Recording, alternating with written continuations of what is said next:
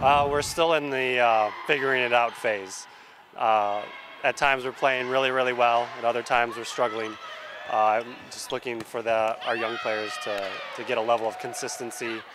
Uh, but we're figuring it out. They're you know athletic and fast and skilled, and and so as they get more experience, I think it'll it'll come smoothly for them, and uh, we should be better you know when we need it.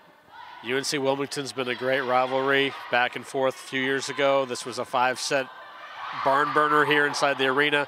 What do you expect come uh, come the, this evening? I mean, I hope hopefully it's the same. Uh, you know, we play we play them tough every year. Uh, they won in five at their place last year. Two years ago, we won in five. Uh, they're they're really really good. You know, they they're at the top of the Colonial, and uh, you know I think we match up well with them though, and we'll give them a run for their money. So um, you know when it's a rivalry, anything can happen. So I'm excited and looking forward to it. Other than consistency, any one or two keys you really want to see out of your team? Uh, we just have to be better offensively um, more often. I think our defense has been a staple of, of our program since I've been here. Uh, we've been serving well, uh, and it's really just getting into the flow of things offensively. With with new players in the program, you know they have to get a rhythm with our setters, and you know we've uh, with more uh, quality players, we're speeding up the offense a little bit.